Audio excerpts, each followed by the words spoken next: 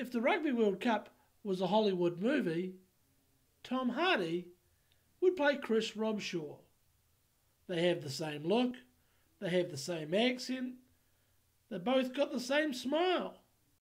But perhaps, most importantly, that vacant, depressed look when you become the first ever host nation to get knocked out of a Rugby World Cup at pool play.